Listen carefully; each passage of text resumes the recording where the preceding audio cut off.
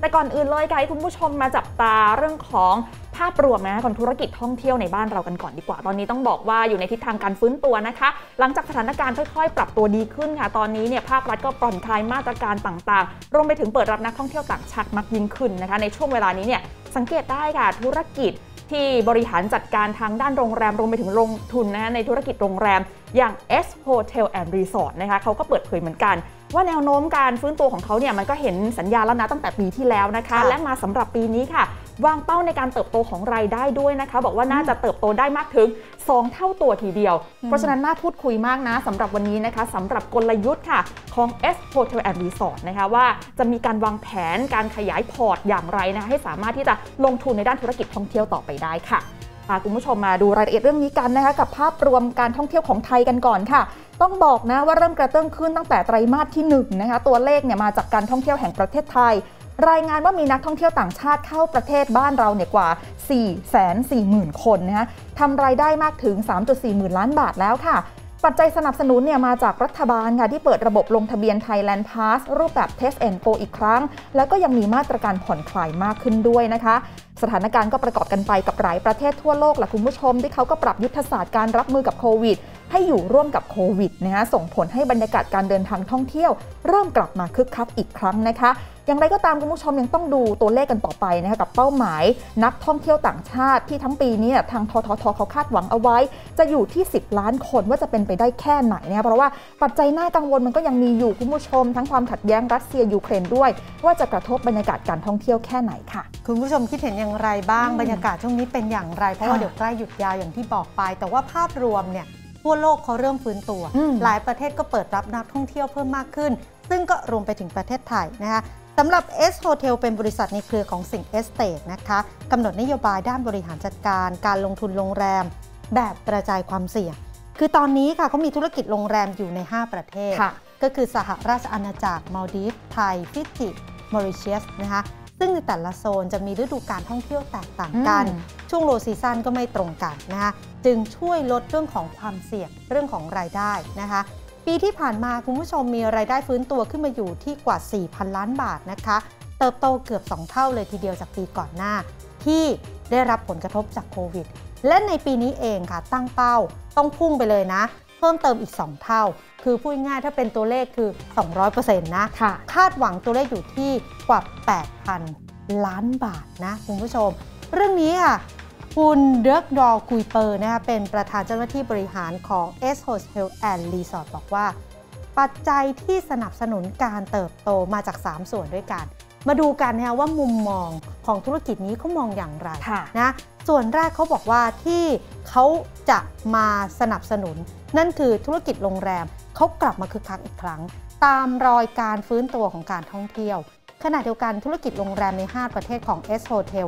เป็นหมุดหมายหรือว่าจุดหมายปลายทางที่ได้รับความนิยมสูงสุดนะคะ โดยเฉพาะสหราชอาณาจักรคาดว่าจะฟื้นตัวกลับมาเท่ากับปีก่อนโควิดคุณผู้ชมอืมถ้าปีก่อนโควิดค่ะขึ้นคือนับกลับไปประมาณสัก2อสปีเลยนะค่ะเพราะปีนี้คือเราเข้าสู่ปีที่ 3 ที่เราอยู่กับโควิดแล้วนะคะ ส่วนมาลดีฟเองเขาบอกว่าเติบโตแข็งแกร่งฟิจิมอริเชียสและไทยเองก็เติบโตได้ดี หลังรัฐบาลออกมาตรการผ่อนปลนด้านการท่องเที่ยวมากขึ้น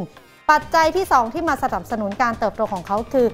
เขาปรับโฉมใหม่ค่ะคือมันทำให้เกิดการดึงดูดนะนักท่องเที่ยว การจัดแพ็กเกจพร้อมกิจกรรมส่งเสริมการท่องเที่ยว ซึ่งช่วยเพิ่มอัตราค่าห้องพักเฉลี่ยต่อคืน เพิ่มขึ้นร้อยละ20ถึง25 คุณผู้ชม ฟังกลยุทธ์แบบนี้แล้วเออเราก็ได้อะไรหลายอย่างเหมือนกันนะ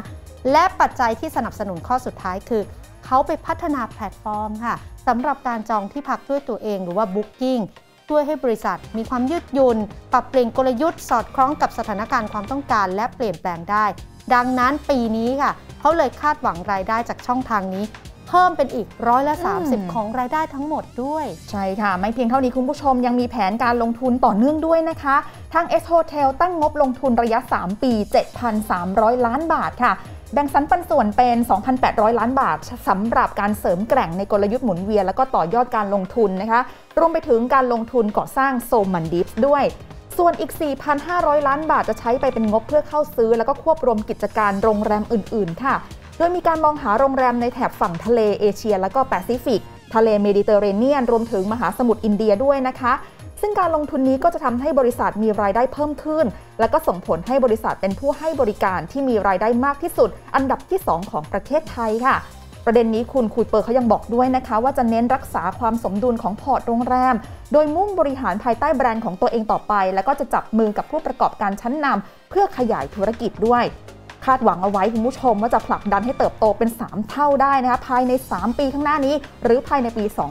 2567 ค่ะอืมนี่ก็เป็นกลยุทธ์แล้วค่ะแล้วก็มองโอกาสการบริหารการทำธุรกิจของเขาค่ะในยุคที่ตอนนี้เพนเชื่อว่าหลายคนบอกว่า ต้องกลับมาแล้วแต่จะกลับมาในรูปแบบไหน กลยุทธ์แผนยุทธศาสตร์ของแบรนด์ตัวเองเป็นอืมอย่างไร นี่ก็เป็นอีกหนึ่งแบรนด์ที่เขาตั้งเป้าหมายเนี่ยว่าเขาจะต้องเติบโตเพิ่มมากขึ้น มียุทธศาสตร์ 1 2 3 4 ที่สำคัญเป้าหมายของเขาคือ จะเป็นธุรกิจที่มีรายได้จากการกระจายความเสี่ยงในแต่ละใช่สายเนี่ย ขึ้นเป็นอันดับ 2 ของประเทศไทยอืมนะคะโอ้โหนี่ก็ถือว่าน่าสนใจ เพราะว่าเพนรู้สึกว่าการท่องเที่ยวปกติที่ผ่านมามันคือรายได้เยอะมหาศาลค่ะเป็นเม็ดเงินที่อยู่ในระบบเศรษฐกิจประเทศไทยเยอะ แต่พอเจอโควิดไป